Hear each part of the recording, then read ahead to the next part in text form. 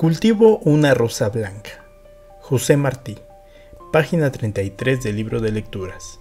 Cultivo una rosa blanca en junio como en enero, para el amigo sincero que me da su mano franca, y para el cruel que me arranca el corazón con que vivo, cardo ni ortiga cultivo, cultivo una rosa blanca.